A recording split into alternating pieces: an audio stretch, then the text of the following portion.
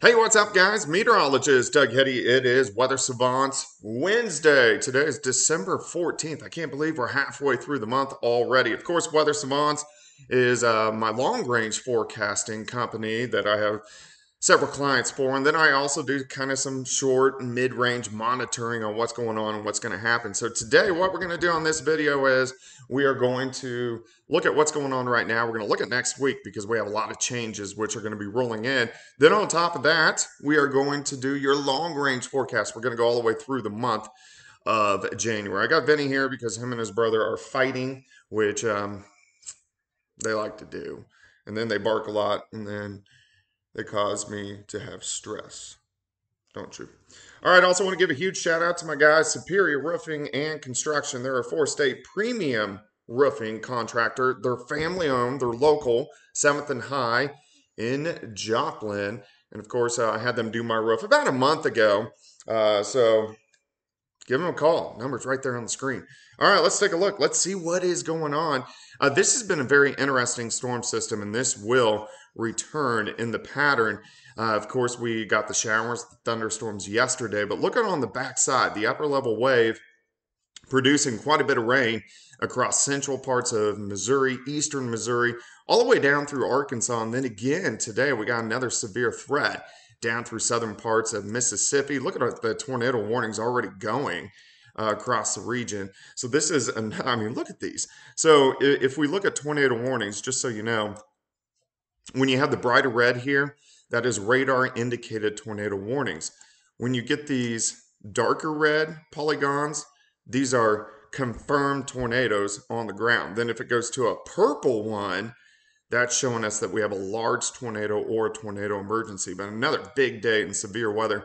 So this is from Meridian, Mississippi, Hatters, Hattiesburg. Geez, I'm not familiar with this area too much. South Jackson, all the way down into Louisiana. So another big severe weather day for them. And then we go north. Check this out. We've had an ongoing blizzard across the northern parts of the plains. So Dakotas, uh, South Dakota, North Dakota, all the way up through Duluth has picked up quite a bit of snow as well. So a pretty big storm system. This will return. And I think next time it returns, this little back wave here across Missouri and Arkansas will be a little bit farther northwest. So that should be a snow event for us as we get a little bit deeper into the winter, which we're not even into the winter yet. All right, let's go through the rest of the afternoon. That rain pushes out of Missouri and Arkansas. Temperatures kind of hang into the mid 40s for us today. As we go through the overnight hours, pretty much clear skies. We're going to get some clouds up near Kansas City and Salina. Temperatures a little bit colder, down into the upper 20s. A little bit cooler Thursday afternoon. High temps right around 40 degrees, kind of in and out of the clouds, but mainly dry across the four state area. And then Friday, not bad, kind of chilly. High temps, mid to upper 30s. So we're pretty quiet the next couple days. It's uh, really next week things start to pick up. So let's jump into that. Let's go all the way into Monday. We have a weak wave. This is does fit the pattern. It's a weak wave. It was weak wave last time. It's going to be a weak wave this time. But with the weak wave, it still has enough energy to produce some rain over to a little bit of snow across the four state area. So let's go into late Monday. Look at this. Temperatures above freezing for most of us, but a little rain snow mix from northwest Arkansas, maybe down to Tulsa, Joplin, up toward Kansas City and Wichita. I don't think amounts would be very much, but in that kind of core, we could pick up a couple inches of snow. So that's something we're going to keep our eyes on as we go through the next few days. All right, let's go into the middle of next week. This is when it gets interesting. We start to warm back up by Wednesday, but we have a very strong, our first Arctic front of the year, and we're still trying to figure out how strong that Arctic front is going to be. But with it, we should get some moisture. So look at a little rain developing Wednesday night into Thursday morning.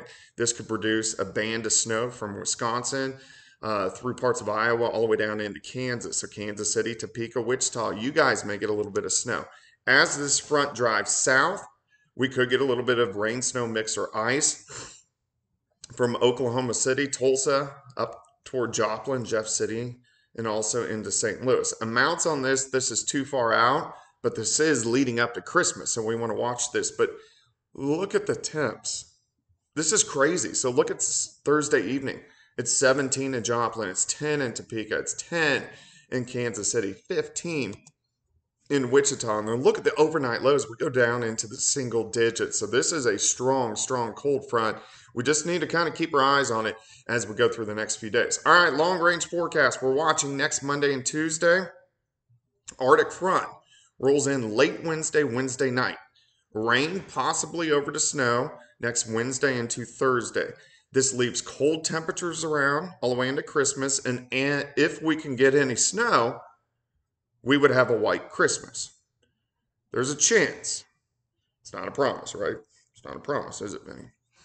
All right, we do start to warm up a little bit after Christmas, and then we cool back down on the 30th and the 31st, which is leading into New Year's Eve. We do have rain and snow chances on the 30th and the 31st. Let's go into January. Mainly a cold first week. We do have rain and snow chances around the 3rd. Could be late 2nd, could be early 4th, around the 3rd. Week two is mainly a chilly week. We do have rain or snow chances on the 13th and 14th. I don't know what days of the week that is. Week three, mainly cold, rain and snow chances on the 18th and the 21st. So we are getting storm systems in here about every uh, six to 10 days, which is good. That keeps things pretty active. The last week is mainly going to be cool. We have rain and snow chances again on the 27th and 28th of the month. So that's kind of what we're looking at over about the next seven weeks. I'm going to do the long range forecast often on here, probably every other video. Plus, we'll get back to doing a weather question each and every day. Make, make sure you like, subscribe, and then hit that little bell. Of course, if you have any comments, questions, leave them in the comment section below. And uh, we pretty much do these weather savants videos each and every day. So kind of kind of cool to watch, and I get to break down some different things than what I normally do at KOAM. I am going to be at KOAM tonight. Of course, we're going to look at uh, the next week, 10 days, kind of with the new data coming in. So I'll be in at 5, 6, 9, and 10 tonight. Um, all right, guys. I hope you're having a great Wednesday afternoon.